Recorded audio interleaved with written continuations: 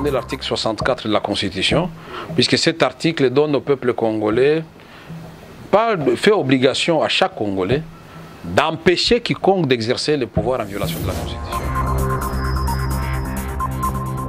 Et de l'autre côté, ça protège aussi le président en fonction, ça n'autorise pas non plus aux gens de s'accaparer du pouvoir par la force. La parole toujours au peuple, c'est le peuple qui doit désigner ses dirigeants par la voie démocratique. Et je ne pense pas qu'il y a une armée qui peut résister à un peuple. La configuration aujourd'hui, c'est quoi? Le président Kabila, quels sont ses atouts? C'est les FRDC qu'il utilise pour, contre nous. On a vu dernièrement, et c'est la honte, on est en train de livrer des équipements de très haute technologie pour faire la répression sur la population et les, et les, opposants, au moment où, à Beni, on a besoin de ces équipements pour protéger la population contre les groupes armés. Pourquoi on les garde à Kibomango, à Kinshasa? Pourquoi? Alors qu'on en a besoin à Beni, Butembo, au nord Katanga, au sud Kivu, et en province orientale, pour lutter contre la LRA, les FDLR et tous les autres groupes négatifs ADF NALU.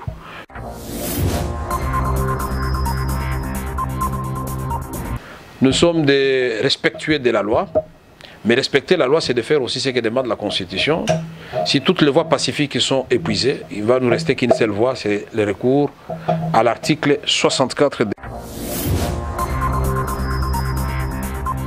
Et croyez-moi, aujourd'hui, j'ai démontré le président Kabila, il a l'armée, il a les institutions de la République, il a la police, il a l'argent de l'État.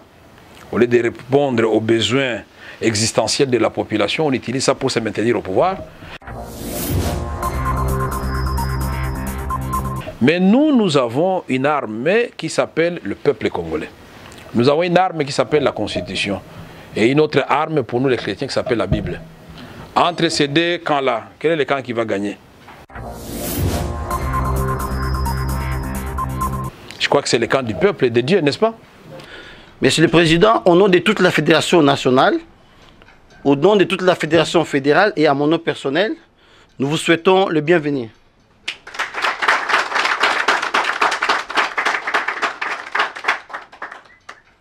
Monsieur le Président, nous sommes émus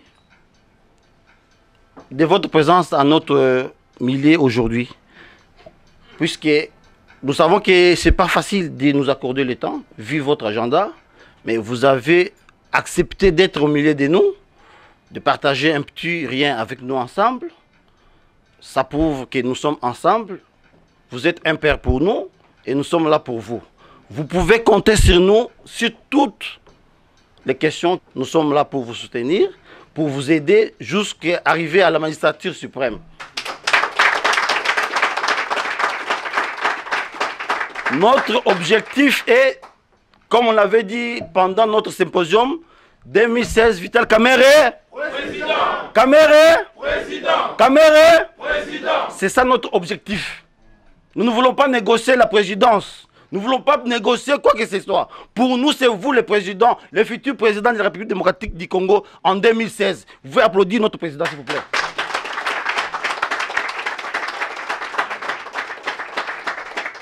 Sans monopoliser la parole, j'invite le secrétaire national, M. Jean Pouka, à passer pour la présentation des membres rapidement.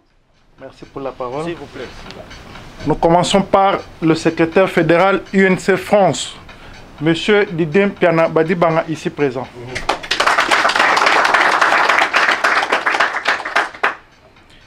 Premier secrétaire fédéral UNC France, chargé des questions d'installation et suivi des organes de base, M. Robert Biongo.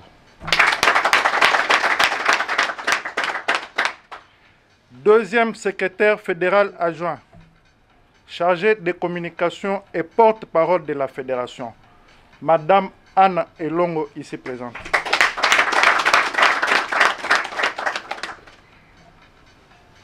Nous avons Madame Janine Mbinzi, chargée des questions féminines pour la fédération UNC France.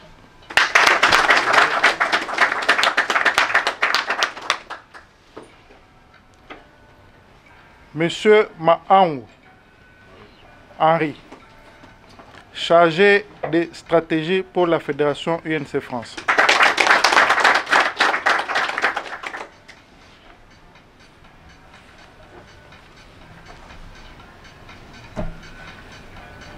Et le reste, c'est les membres de la fédération en leur nom et qualité respectifs. Je retourne la parole à Monsieur le secrétaire fédéral pour la suite de la cérémonie, tout en vous remerciant.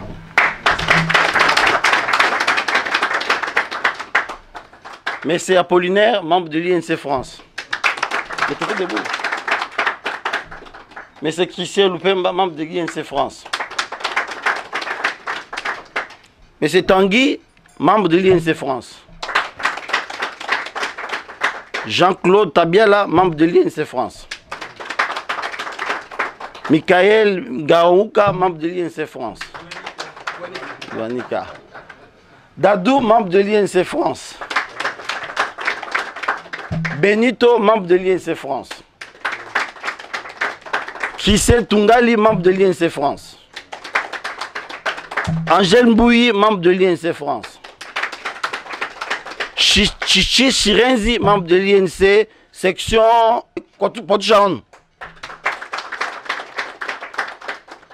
Potchan. Emani Mwanza, membre de l'INC France. Perry, membre de l'INC France. Armand, membre de l'INC France. Maître Albert, membre de l'INC France. Myriam Rachidi, membre de l'INC France. Dan Kalombo, membre de l'INC France.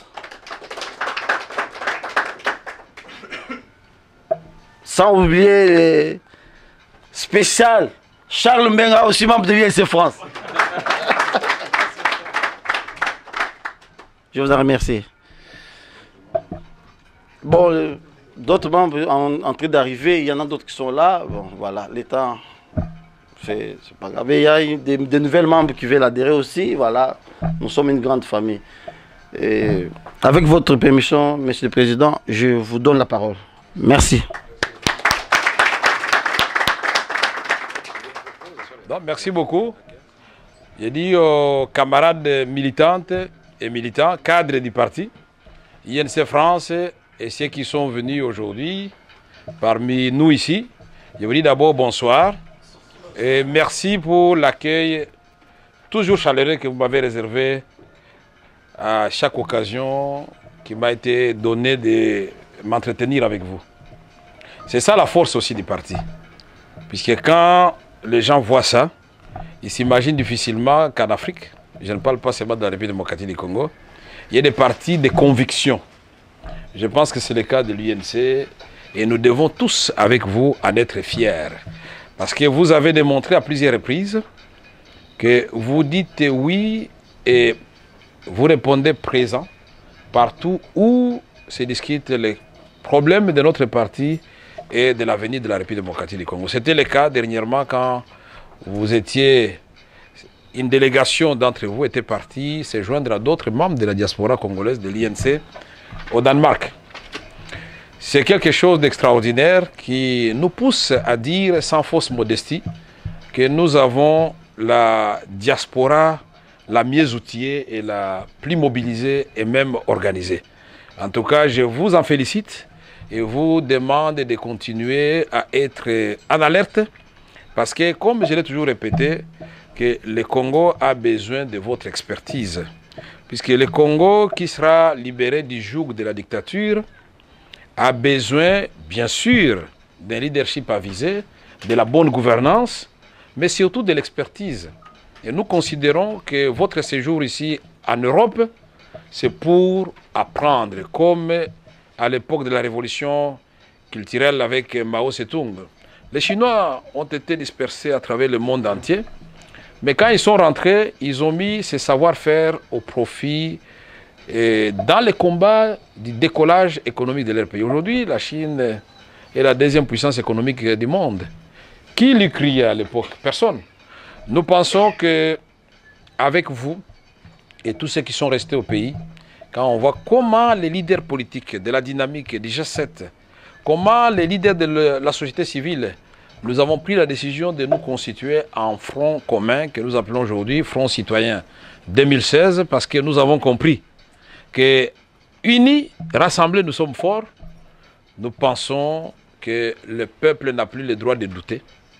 Et aujourd'hui, nous retournons la balle dans le camp du peuple pour dire que nous, les leaders, nous allons servir de lampe témoin. Nous allons nous lever pour nous mettre à la première ligne. Mais le destin du Congo est entre les mains du peuple congolais.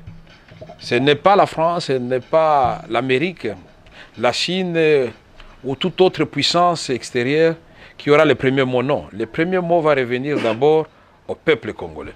Quels que soient les calculs qui pourront être faits, le dernier mot reviendra au peuple congolais.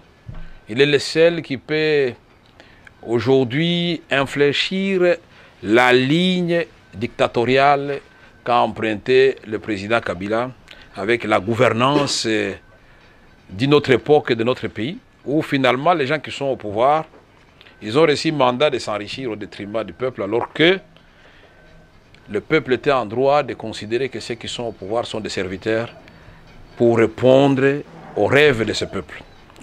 La République démocratique du Congo, nous avons eu l'occasion de le dire aux décideurs français. Nous avons été invités par le think tank Sinopia et nous avons parlé du Congo face à son avenir.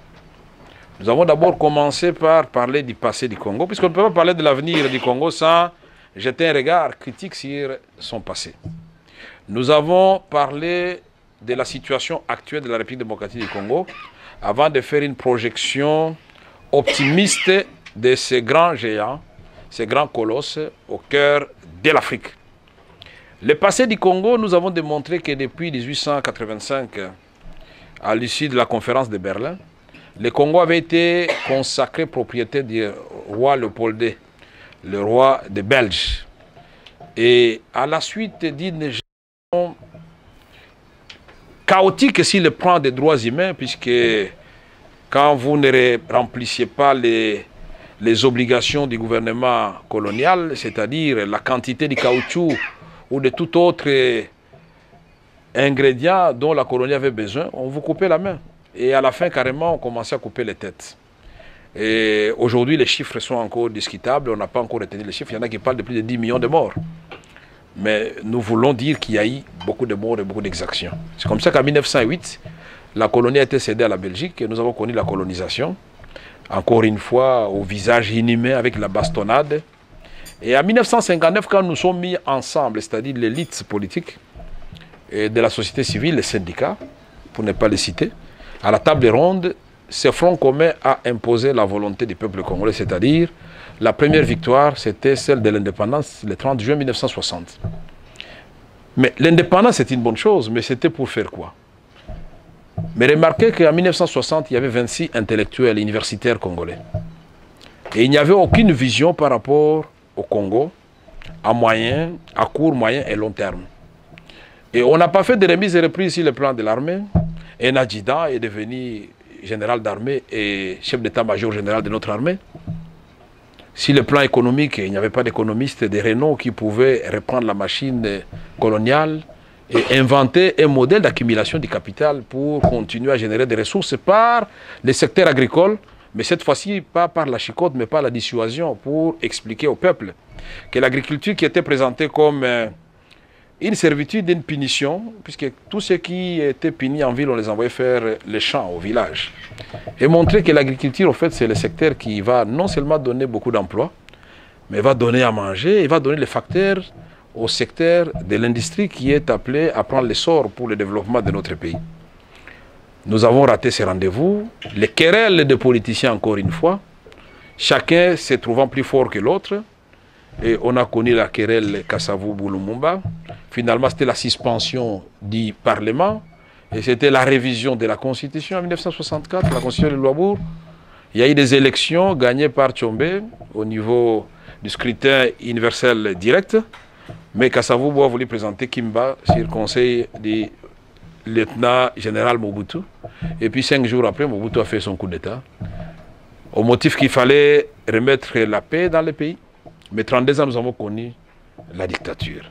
En 1989, avec la chute du mur de Berlin, et puis les forces encore coalisées de l'opposition, en 90, le président Mobutu a prononcé son discours historique du 24 avril 1990 pour dire qu'il est d'accord avec la démocratisation du pays. Le 16 février 1992, on a eu la marche des chrétiens avec beaucoup de morts. Cette fois-ci, c'était la deuxième victoire du peuple, c'était la victoire de la démocratie. Mais après, qu'est-ce qu'il fallait faire? Puisque Mobutu était d'accord pour qu'il y ait une transition à l'issue de laquelle il va partir. Mais les querelles des individus, cette querelle est venue encore à la surface pendant que les gens discutaient sur euh, leur positionnement personnel. Laurent Désiré Kabila est venu rattraper tout le monde à Kinshasa, aidé par le Rwanda et l'Ouganda, le 17 mai 1997. Et il a remis le compteur à zéro de la démocratie. Un simple décret présidentiel a suspendu la constitution de la transition, ici de la conférence nationale souveraine. Un simple décret du président Laurent Désiré Kabila a suspendu toutes les activités des partis politiques alors que nous étions déjà habitués à nous réunir, à faire nos marches, à critiquer le maréchal Mobutu sans que la mort ne vous arrive. On vous a dit fini tout cela et Tshisekedi était même relégué dans son village. Beaucoup de gens ont déjà oublié ça par l'effort de l'AFDEL. Mais une année après, deux ans ou trois, deux ans après, on a connu, une année après, on a connu la guerre de 98. Parce que quand Laurent Désiré Kabila a mis fin à la coopération militaire avec le Rwanda le 27 juillet 1998, cinq jours après le 2 août, on a connu la guerre. Mais cette guerre s'est terminée comment? Si on doit parler de la fin. Nous nous sommes retrouvés, on a signé l'accord de Lusaka avec euh, le Rwanda, l'Ouganda et les autres pays alliés. Et de l'accord de Lusaka, nous avons convenu, les Congolais, du MLC, du RCD et du gouvernement, de l'IDPS et de la société civile et les Maïmaï, de nous retrouver à San City. On a signé l'accord global et inclusif le 17 décembre 2002. Et on a dit au peuple congolais que c'était le pacte républicain qu'il fallait consacrer par la constitution du 18 février 2006. Mais cette constitution avait été acceptée par le peuple en référendum le 19 décembre 2005, avec un oui à 85%. Et nous avons dit nous-mêmes que voilà, avec ça, fini le coup d'État en République démocratique du Congo, fini les guerres inutiles, désormais la parole au peuple pour désigner librement ses dirigeants. Mais comme euh, les hasards n'existaient pas dans l'histoire, c'est Joseph Kabila qui a promulgué cette constitution, et donc il est aujourd'hui mis devant ses responsabilités historiques. Il doit prouver au peuple congolais, au monde entier, qu'il est capable de respecter et sa signature et sa parole. Puisque pour la première fois, cette année, le peuple congolais voudrait vivre l'alternance démocratique au pouvoir. Mais qu'est-ce que nous avons remarqué? Déjà en janvier 2011, pour s'assurer de la victoire aux élections de 2011, le président Kabila a révisé en catastrophe la Constitution pour amener à un seul tour le détour qui était prévu dans la Constitution. Et cela a désorganisé et désorienté l'opposition. Ce qui fait que Kabila n'a pas gagné, mais il a justifié sa victoire en disant oui, il y avait beaucoup de candidats de l'opposition, je ne pouvais que gagner. Mais après 2011, nous avons proposé au président Kabila, en janvier, s'il vous plaît, le 28 exactement, janvier 2012, le dialogue pour dire comme il y a une crise de légitimité au sommet de l'État, est-ce qu'on ne peut pas se retrouver pour que, un, nous puissions parler de cette crise de légitimité. Deux, nous puissions baliser les chemins pour les autres élections, pour que les élections provinciales à venir et les élections de 2016 ne puissent pas ressembler en aucun moment aux élections chaotiques de 2011. Kabila a dit non. Et même le porte-parole du gouvernement est passé à plusieurs reprises pour dire que les opposants sont en train de demander du travail. Ce sont des mendiats. On a créé même la coalition pour le vrai dialogue. Kabila a dit non. Et puis finalement, nous avons dit le seul langage que le président Kabila peut comprendre, c'est le langage des rapports de force. Quand il a créé l'Office national d'identification de la population, et quand il a voulu modifier la loi électorale, nous avons fait un appel au peuple congolais. Tous les leaders politiques, nous avons parlé un seul langage. On a dit, nous passons à l'avant-plan, et le peuple avec nous, nous allons gagner le 19, le 20, le 21, le 22, le 23, le 24, le 25, ce sont des journées glorieuses pour le peuple congolais parce que le président Kabila a reculé. Il faut le souligner à haute voix. Il a reculé, donc c'est le seul langage que le président Kabila a reculé. Nous avons dit, plus question de parler de dialogue, maintenant nous allons aux élections. Puisque le président Kabila lui-même a dit que les institutions fonctionnent harmonieusement bien. Alors, on va faire le dialogue pour quelles raisons Mais là, le président Kabila va trouver un autre stratagème, c'était jouer le temps, en même temps de paralyser la CENI. On n'a pas donné les moyens à la CENI, on a empiété sur l'indépendance de la CENI, et puis on vous appelle pour vous dire, voilà, il y a un problème, la CENI n'a pas pu organiser les élections, faute de moyens. Est-ce qu'on peut se mettre autour d'une table pour parler du calendrier électoral, enrôlement des nouveaux majeurs, le financement des élections, la sécurisation des élections. Nous disons, les deux premières attributions, c'est-à-dire l'enrôlement des jeunes et l'élaboration des calendriers, sont des prérogatives exclusives de la CENI. Les deux dernières prérogatives, elles sont et elles relèvent du gouvernement. En l'occurrence, le ministère des budgets et finances à ce qui concerne le financement des élections, les ministères de l'Intérieur avec euh, comme branche d'exécution la police nationale, ce qui concerne la sécurisation des élections, avec l'aide de la MONUSCO. Alors nous nous posons la question, qu'est-ce que nous allons faire dans ces dialogues avec les chefs coutumiers, avec les magistrats, avec les étudiants, avec les musiciens? Est-ce qu'en nous mettant ensemble, on aura l'argent pour les élections? Est-ce qu'on va demander aux gens de cotiser? En nous mettant ensemble, chacun va produire sa milice pour sécuriser les élections Nous disons non. Le président Kabila est en train de nous inviter à un dialogue piège un dialogue pour entériner sa démarche de glissement et si on ne fait pas attention, peut-être des référendums constitutionnels pour la révision de la Constitution. Nous devons dire non. Bon, beaucoup de gens ne voulaient pas nous écouter à ce moment-là, mais nous avons tenu bon au niveau de la dynamique. Nous avons été rejoints par les amis du G7 et finalement nous avons créé le Front citoyen à Dakar, sur l'île de Gorée, avec deux objectifs. Le premier objectif, c'est obtenir le calendrier des élections, c'est-à-dire respect de la Constitution. Le deuxième objectif, c'est s'assurer qu'il y aura réellement alternance au pouvoir. Nous avons dit ça, c'est le premier palier de notre combat. Et pendant ce temps, et les membres de la société civile, et les leaders politiques, nous devons tous nous oublier pour privilégier ces nobles objectifs qui concernent l'ensemble du peuple congolais sans couleur politique. Le respect de la Constitution n'a pas de couleur politique. L'alternance démocratique, c'est une valeur républicaine, ça n'a pas de couleur politique. Mais une fois ce premier palier franchi, maintenant nous pouvons revêtir nos habits de politiciens pour dire qui de tous les opposants qui se sont présentés va porter les fagnons de l'opposition comme candidat président de la République. Voilà, mesdames et messieurs, camarades, cadres du parti, Aujourd'hui, nous avons devant nous quelques échéances, quelques dates phares. Le 31 janvier, c'est une date butoir que nous avons fixée à la CENI pour nous donner le calendrier électoral. Le 10 février, c'est la date rouge pour la CENI. Si elle n'a pas publié le calendrier électoral, nous allons faire appel au peuple pour que le 16 février, le peuple puisse euh, s'approprier le processus électoral et réclamer le déblocage rapide de ce processus. Donc le 16 février, nous avons rendez-vous. Le 16 février, le 18 février, il ne faut pas oublier, c'est les 10 ans de la Constitution euh, du 18 février 2006. Euh, mesdames et messieurs, vous êtes bien sûr ici en France et les autres de la diaspora qui nous suivent à travers vous. Nous avons besoin de votre apport. Nous avons besoin de votre éveil permanent nous avons besoin du combat que vous menez merveilleusement bien. Nous vous lisons à travers la toile, nous suivons ce que vous faites. Il faut le faire et continuer à le faire puisque le peuple reconnaissant est là et il sait qui a fait quoi. Quelles que soient les critiques qui peuvent venir à gauche ou à droite, c'est ça la démocratie. Il faut accepter aussi la critique puisque nul n'est parfait. Maintenant, nous au niveau de l'Union pour la nation congolaise, nous avons dit, nous voulons un autre Congo un autre Congo qui sera gouverné autrement. Parce que nous sommes convaincus, vous et nous, que ce Congo, petit paradis où il faudra beau vivre, plus beau qu'avant, comme on l'a dit dans notre hymne national, ce Congo-là est possible. Le Congo aujourd'hui souffre essentiellement de deux grandes maladies.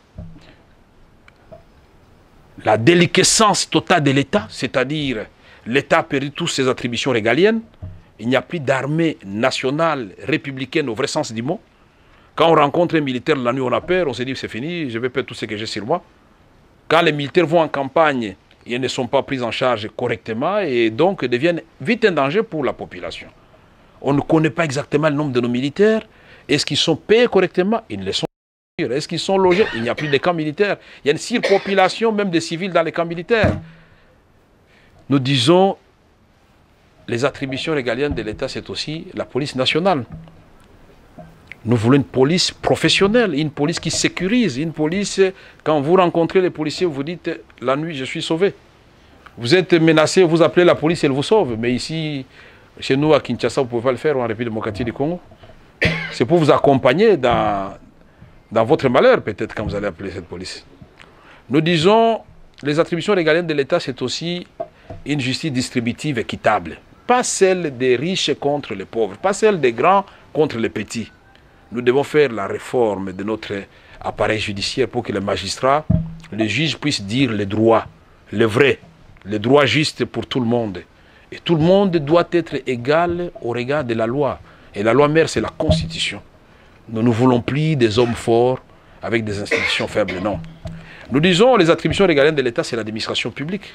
Sans une administration publique équitable, neutre et efficace pour tout le monde, on ne peut pas parler de l'État congolais. Mais les attributions régaliennes de l'État, c'est aussi une bonne politique des affaires étrangères et de la coopération internationale. Quelle image pour le Congo à l'étranger? Et nous disons que ce Congo-là, qui souffre de cette déliquescence de l'État, doit s'élever. Mais la deuxième maladie du Congo, c'est l'absence du leadership. À cela, il faut ajouter ce qui va avec, c'est la mauvaise gouvernance du pays. Nous disons aujourd'hui, si nous avons l'État réhabilité dans ses fonctions régaliennes, et s'il y a un leadership visionnaire, pas d'un seul individu, une équipe, porteur d'une vision de changement, une vision qui réponde aux besoins du peuple congolais, le Congo va s'élever et Congo va répondre aux besoins de ses enfants, ses fils et ses filles, de ses voisins dans la région des Grands Lacs, dans la CAC, l'Afrique centrale, dans la SADC, mais dans l'Afrique. Mais le Congo va devenir effectivement un espoir, une chance pour l'humanité. Puisque ce Congo-là va aider l'humanité. Aujourd'hui, nous avons vu, il y a eu la réunion de Paris sur le réchauffement climatique. Mais il faut dire aux Français et au reste du monde que notre beau Congo, c'est le deuxième poumon de l'humanité. Notre, deuxième, notre Congo, c'est la deuxième forêt tropicale du monde. Mais il faut dire aussi que le deuxième défi auquel le monde fait face, c'est celui de la pauvreté et du déficit alimentaire. Manque de nourriture pour un milliard d'individus. Mais je voudrais vous rappeler, comme je l'ai dit à nos amis de Sinopia, que la surface cultivable de la République démocratique du Congo est égale à la surface cultivable de la Chine. Les études françaises, congolaises et de la FAO et même belges ont démontré que les terres du Congo mieux exploitées peuvent produire la nourriture pour des milliards d'individus. Nous sommes 70 millions. Mais c'est un paradoxe que nous importions 85% de nos biens de consommation de l'Afrique du Sud, de l'Europe et de l'Asie. C'est inacceptable. Nous, nous devrions, comme à l'époque, inverser la tendance, commencer à envoyer la nourriture dans les pays du monde. Nous sommes une solution pour l'humanité. Mais voilà que nous sommes en train de geler tout cela. Moins de 5% de nos terres exploitées. C'est inacceptable. Un jour, on va venir nous prendre de ces pays en disant, voilà, ces gens-là, ils dorment, ils ne travaillent pas. Donc, je voudrais attirer votre attention à vous tous que nous avons 80 millions d'hectares de terres arables accessibles tout de suite. Et à cela, il faut ajouter 40 millions de terres arables irrigables. On peut faire du biocarburant, on peut faire tout un tas de cultures compliquées. Mais nous disons, le Congo aussi, c'est une solution à un troisième défi qui se pose à l'humanité. Et la guerre, à l'horizon 2030-2050 ou plus tard, la guerre, ça sera la guerre de l'eau douce. Puisqu'il est démontré qu'en 2050, le déficit par personne, par pays, par industrie, ça sera un tiers. Or, le Congo, notre pays, à lui seul, il a 13% de toutes les eaux du monde, les eaux douces. 53% de toutes les eaux douces d'Afrique. Mais entre-temps, quand vous regardez la position du Congo, nous sommes encastrés entre deux déserts. Au nord, il y a le désert de Sahara, qui descend, qui a déjà séché le lac Tchad. Mais aussi, il y a le désert de Kalahari qui monte. Mais nous sommes au milieu là-bas. Déjà, quand j'étais président de l'Assemblée nationale, j'ai nécessité de vous rappeler d'un phénomène en province orientale de Mbororo, venant du Mali, du Niger, pour venir faire paître leurs bêtes en province orientale. Et ils sont là avec des Kalachnikov, avec des calibres 12. Mais déjà, voilà un signal qu'on est en train de nous envoyer. Nous avons dit non, On ne va pas prendre les eaux du Congo à partir de Lubangui, non. Il faut prendre les eaux du Congo à partir de l'Embouchure, là où les eaux se déversent dans l'océan Atlantique pour devenir des eaux salées, gaspillées. Alors à ce moment-là, on peut tirer ces eaux-là pour les orienter vers les lacs Tchad. Ça fait moins de 2000 km, donc on peut drainer ces eaux du lac Tchad facilement. Et nous disons le Tchad est un pays producteur de pétrole. D'autres pays sont autour du lac Tchad peuvent aussi contribuer pour construire ce canal. Et le Congo va devenir une solution pour ces pays-là. Plutôt que d'attendre qu'on vienne nous faire la guerre pour les eaux qui vont se gaspiller dans l'océan Atlantique ou venir les prendre par la force au niveau de l'Ubangi, ça va déstabiliser notre écosystème. C'est inacceptable. Nous disons aujourd'hui le Congo peut répondre à un autre défi, le quatrième défi. C'est le défi euh, de l'énergie propre, non polluante et renouvelable. Mais Inga, c'est 44 000 MW. Mais si vous ajoutez les autres rivières à travers le pays, nous sommes à 100 000 MW. Et nous pouvons donc électrifier toute l'Afrique, l'Europe subsaharienne, l'Europe du Sud et l'Asie. Nous disons le Congo, c'est une solution pour les Congolais même, parce que nous avons répertorié dans les études du PNI de 75, 76 000 villages du Congo peuvent s'autosuffire. Chaque village a un petit cours d'eau qui peut lui donner l'énergie suffisante et pour les besoins domestiques et d'industrie locale. Mais quel merveilleux pays Quand vous savez comment les Palestiniens les, et les Israéliens se battent pour, pour des cours d'eau là chez eux, nous sommes gâtés par la nature. Nous sommes un paradis que nous avons transformé en enfer sur terre. Donc il y a moyen d'opérer l'opération inverse pour que cet enfer pour les Congolais, ceux qui vont au Congo, redevienne le paradis pour les Congolais, pour tout le monde. Le dernier défi, c'est le défi de la rareté des matières premières. L'or, les diamants, les coltans, les cuivres, tout ce que vous savez, manganèse et consorts. Le Congo, on vous a démontré quelques minéraux du Congo représentent 24 000 milliards de dollars. Donc nous disons, mais ces pays-là, qu'est-ce qu'il manque pour avancer? Un état de droit, la bonne gouvernance portée par un leadership visionnaire et rassembleur. Et on va le faire avec les jeunes, on va le faire avec les mamans, parce que ce sont les deux piliers de la société congolaise. Ces deux piliers font que Afrique, les pays survivent. Tout est sur le poids de la femme et du jeune. Et donc, dans notre projet de société, dans notre vision, les deux premiers piliers, c'est la femme et les jeunes. Et quand on parle de la femme et des jeunes, on regarde du côté de l'emploi, du côté de l'amélioration des conditions de vie de la femme, on regarde du côté des jeunes, leur formation, leur éducation. Qu'est-ce que nous devons faire au niveau de l'école maternelle, primaire, secondaire? Qu'est-ce que nous allons faire comme centre de formation professionnelle pour que les gens aient des diplômes des centres de formation professionnelle, deviennent des chefs d'entreprise après quelques années? Qu'est-ce que nous faisons au niveau de l'université? On réhabilite les infrastructures, on revoit les programmes. Qu'est-ce qu'on fait de l'enseignant? Est-ce qu'on va améliorer ses conditions de vie? Est-ce qu'il y a moyen de parler de l'éducation sans un enseignant qui est bien payé? Puisqu'aujourd'hui, dans le milieu rural, l'enseignant gagne 25 dollars par mois. Qu'est-ce que vous attendre d'un tel enseignant? Rien du tout. Ça sera la corruption. Nous disons, ce Congo-là, il viendra et c'est grâce à vous que nous allons construire ce Congo. Nous n'allons pas vous prendre beaucoup de temps, mais il faut ajouter des autres défis qui se sont invités. C'est le défi du terrorisme dans le monde.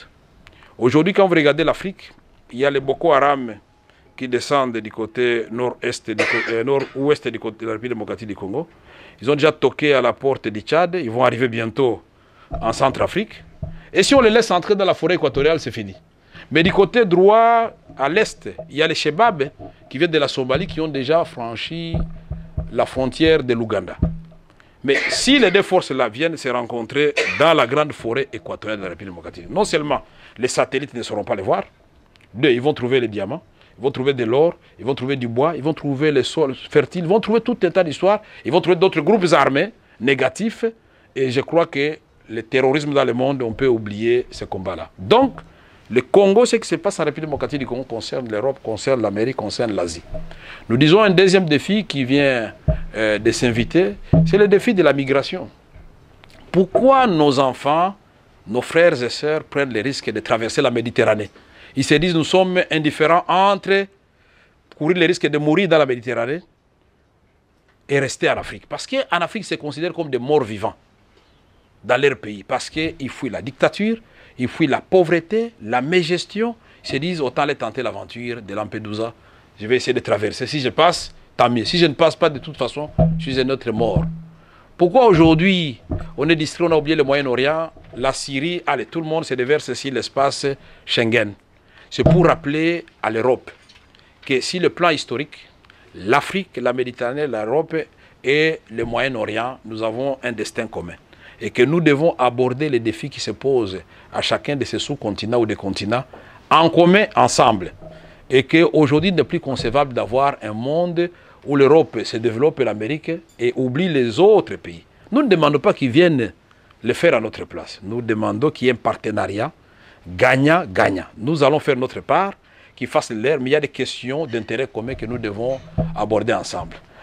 Monsieur le fédéral et membre du comité fédéral de l'UNC France, camarades et membres du parti, je vous remercie pour l'opportunité que vous m'avez offerte aujourd'hui.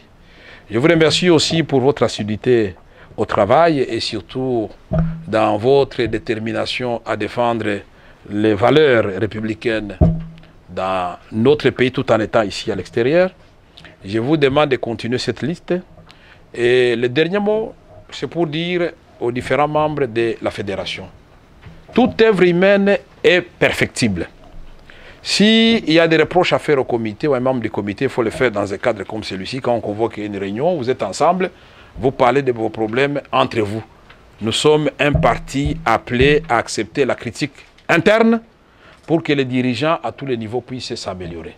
Si le président national, à l'occasion des réunions des bureaux politiques ou de la direction politique nationale ou du comité exécutif national, on les critique pour dire, Monsieur le Président, il y a ça, ça, ça, alors, a fortiori, les fédéraux doivent accepter cette critique-là. Mais ça doit être une critique dans le sens d'améliorer, pas dans le sens de détruire ce qui existe. Complétez-vous et ensemble, vous allez faire des miracles. Vous êtes sur la bonne voie. Ce n'est pas le moment de faire revenir les démons de la division parmi vous. Je vous demande de rester unis et unis, vous allez voir, vous allez gagner la bataille de la démocratie. Nous allons imposer au président Kabila les élections où le peuple aura le dernier mot. Mesdames et messieurs, je vous remercie encore une fois, mais je reste à votre disposition euh, pour deux ou quatre questions, parce que je sais qu'à des occasions comme ça, ça ne manque pas. Peut-être deux dames et puis deux messieurs, à titre symbolique, et si le temps le permet, on peut continuer après euh, pour les discussions plus approfondies. Je vous remercie. Bonsoir. Madame. Je ne suis pas encore membre du parti. Et C'est Janine qui m'a emmenée. J'ai souhaité venir avec elle parce que j'ai suivi dans les réseaux sociaux, comme beaucoup de, de Congolais, vos discours, euh, vos interviews, et j'étais impressionnée. Et je voulais voir euh, par moi-même euh, cette personne euh, qui connaissait bien le Congo, qui aime le Congo, qui, que rien qu'en parlant de, de- de- de la situation, on sent euh, la- l'amour pour ce pays. Donc, euh, ça nous manquait, quelqu'un comme vous, ça nous manquait vraiment, et je suis persuadée, au fond de mon cœur, que vous devez aller loin et que cette intelligence-là, ça ne peut pas être parti pour moi. Merci. Que Dieu nous entende. Amen. J'avais des questions, mais vu que je ne suis pas encore membre, je sais que je pourrais avoir des réponses parmi. euh, Merci. mais euh, ce que je voulais dire d'abord, c'est euh, comment vous faire connaître. Parce que il faut vous faire connaître. Merci. Moi, dans le milieu où je suis, moi, je suis du milieu de la santé et je fais partie de beaucoup d'associations. On, on est euh, déclaré en préfecture, on fait des actions, des associations africaines et congolaises également. Et j'aimerais porter votre nom euh, dans ce que je fais, dans les offres que je peux faire quand je vais au Congo. Et pour ça, c'est vrai, il faut que je sois. Je souhaite être dans le nombre du parti, mais je, je demanderai au, au cadre euh, comment faire pour pouvoir, euh, chaque action que je ferai, si je pourrais euh, mettre le parti en avant, parce que je crois qu'il faut, il faut le faire. Merci. Chacun dans son domaine pourra amener sa petite pierre et pouvoir euh, avancer, parce que nous avons besoin de quelqu'un comme vous dans notre pays pour nous donner l'impulsion de pouvoir faire des choses, des choses qu'on a envie de faire pour notre pays. Et je crois que pour moi, je, je crois que j'ai trouvé euh, l'homme, et mon père me disait toujours, euh, Clémentine, c'est pas aujourd'hui que tu, tu trouveras la personne qui va bouleverser le monde congolais, parce que je discutais beaucoup de politique. Mais je- il est décédé, Oh. j'aurais bien voulu lui dire que je l'ai trouvé. Cela. Merci beaucoup. Merci beaucoup, Maman Clémentine, pour euh, vos paroles encourageantes et réconfortantes. Euh, Les partis, n'hésitez pas. Vous pouvez adhérer maintenant ou après. Vous serez avec euh, Didier Piana, Maman Anne Longo, Roblex Biongo et tous les amis du comité. Je demande qu'ils vous réservent, Harry Mahang, il est juste derrière vous, qui vous réserve un accueil digne d'une grande dame que vous êtes. On a besoin aussi de gens comme vous, des gens qui réfléchissent avant tout l'intérêt général du Congo, les gens qui peuvent reconnaître la modeste compétence des autres Congolais. Ça fait plaisir. Et que c'est comme ça que nous allons, chacun avec sa petite compétence, en additionnant nos compétences et nos intelligences, nous allons créer la masse critique qui va booster le Congo sur l'orbite du développement. Et ça, moi, je suis convaincu. Avant que je ne meure, le Congo va dépasser le Brésil. Avant que je ne meure. Je suis convaincu de ça. Merci le, président national pour la parole. Euh, vous avez retracé l'historique de la RDC depuis l'État indépendant du Congo jusqu'à ce jour. Je vous ai bien suivi. Dans votre conclusion, vous avez dit, je cite, Nous allons imposer les élections au président Kabila dans le délai constitutionnel pour le bien-être du peuple congolais. C'est ça votre conclusion, je, je l'ai noté. Ma question est la suivante. Nous avons tous appris sur RFI hier qu'il y a eu une réunion de haut niveau qui s'est passée à la CENI entre le gouvernement, la CENI et les bailleurs de fonds. Nous voulons savoir quels en étaient les points qui étaient inscrits à l'ordre du jour et l'opposition n'était pas invitée à cette réunion-là de haut niveau comme ils l'ont dit. Quelle attitude devons-nous opter par rapport à ça? Merci, Monsieur le Président. Mais en fait, nous entrons en plein la proposition de la dynamique de l'opposition du G7. Nous, nous avions dit, la CENI, c'est l'institution chargée d'organiser les élections. S'il y a des discussions, mais que cela se passe à travers la CENI. Je ne dis pas que ce qu'ils ont proposé va être nécessairement accepté, mais c'est ça aussi euh, la beauté de la démocratie. Mais il faut qu'on commence par quelque chose. La CENI a contacté les amis de la majorité, en présence de la communauté internationale. Aujourd'hui, c'était le tour de l'opposition, mais l'opposition est arrivée sur les lieux et a trouvé des gens que la CENI avait définis comme étant de l'opposition, alors qu'ils ne sont pas de l'opposition, mais qui sont du pouvoir. Les amis leur ont dit, et ils ont dit aux gens de la CENI, mais chacun de nous doit s'assumer. Aujourd'hui, le pays a un problème très sérieux. C'est le problème de savoir si Kabila doit continuer ou il doit respecter la Constitution. Nous, nous disons, Kabila doit respecter la Constitution. Cela est bon pour lui-même et cela est bon pour la République démocratique du Congo. S'il ne respecte pas la Constitution, ça ne sera pas bon pour lui, puisqu'il risque de régner comme... Et là, il n'aura pas la chance du président du Burundi. Je ne sais pas quelle joie on peut avoir comme président de la République en train de régner si des morts. Je ne pense pas que ça soit son ambition aussi. Alors nous disons, face à cela, donc il y a des gens qui disent, oui, nous devons aller dialoguer avec le président Kabila. Nous disons non, nous n'allons pas dialoguer avec le président Kabila puisque ce dialogue-là, c'est un stratagème.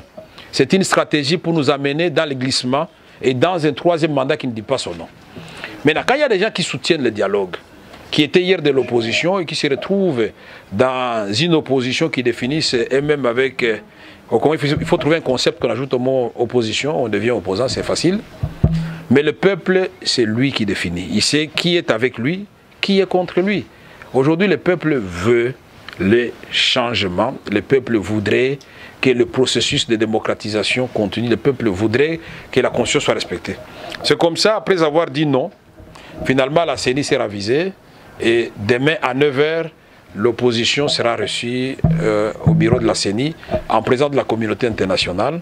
Ça sera certainement pour parler de l'enrôlement ou du fichier électoral, certainement. Mais je ne peux pas prédire des, des points qui sera discuté demain. Mais avec euh, la majorité au pouvoir, ils ont parlé euh, de la révision du fichier électoral, des décisions tournées autour de ça et de la faisabilité des élections.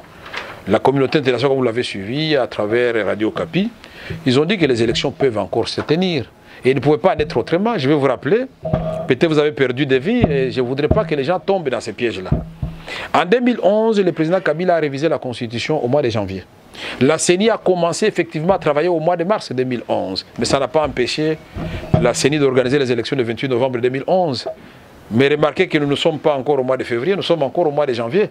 Et on commence à vous dire, oui, oui, techniquement, ce n'est plus possible. Non. Comment ce n'est plus possible? Et ici, il ne faut pas qu'on nous amène toutes les élections, non. On doit faire les élections urgentes et contraignantes au regard de la Constitution. C'est d'abord l'élection présidentielle, mais militante du parti et les militants du parti. N'hésitez pas.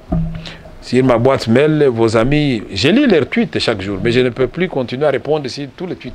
Je lis tout, je lis tout chaque jour, je vois euh, les efforts que vous faites. Je vous demande de continuer.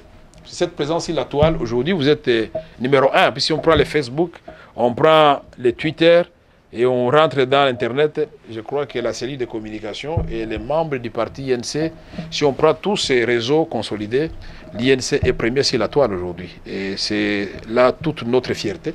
Vous devez continuer. Et c'est très encourageant pour nous. Merci beaucoup encore une fois. Et salutations chez vous. Et que la guerre continue, la victoire est certaine. Merci beaucoup.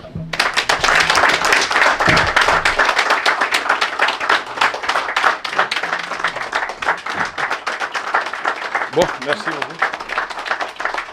Ah oui. Vous savez que maman Anna, pouvez venir ici. Vous savez que notre sœur, maman Anna, a perdu euh, son père.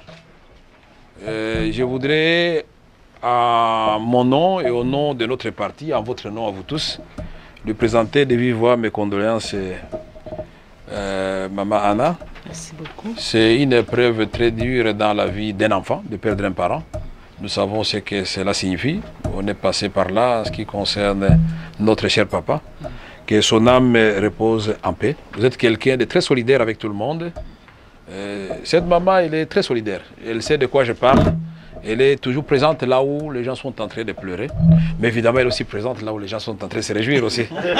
Et c'est ça la Bible d'ailleurs. Il faut pleurer avec ceux qui pleurent, il faut rire avec ceux qui rient, il faut fêter avec ceux qui fêtent. Maman Anne, il faut vous sentir réconforté. Seul Dieu peut, en tout cas, penser vos plaies et vos blessures. C'est très dur, mais il faut faire avec. Il faut considérer qu'il repose auprès du Père en ce moment. Ce sont là les seules paroles qui peuvent vous consoler. Encore une fois, merci beaucoup. Merci. Bon, merci beaucoup.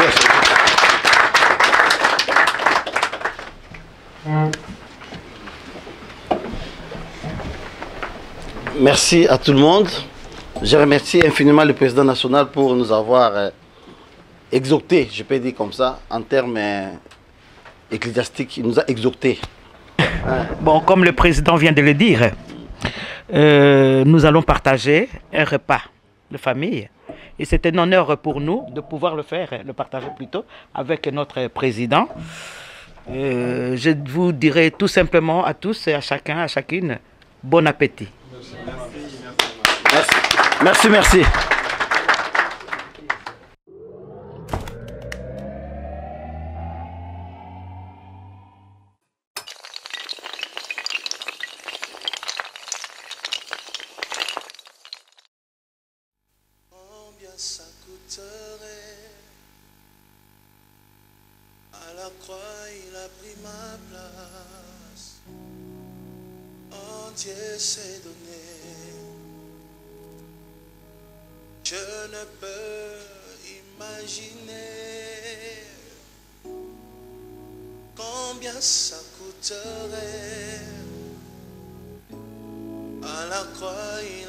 ma place. Oh, Dieu s'est donné. Je ne peux imaginer combien ça coûterait. À la croix, il a pris ma place. Jésus s'est donné. Je ne peux imaginer combien ça coûterait. À la croix, il a pris ma place. Jésus s'est donné. Il a pris ma place. Il a pris ma place.